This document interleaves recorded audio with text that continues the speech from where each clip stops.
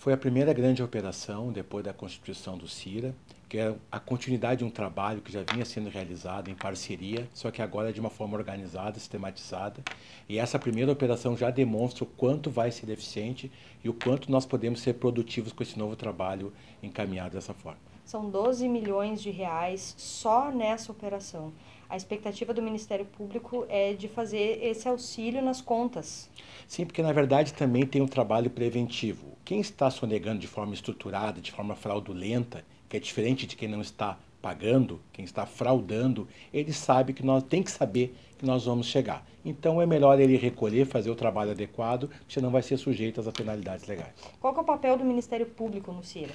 Ele está na organização, na composição e especialmente na questão criminal, no crime contra a ordem tributária que seja decorrente dessa fraude fiscal.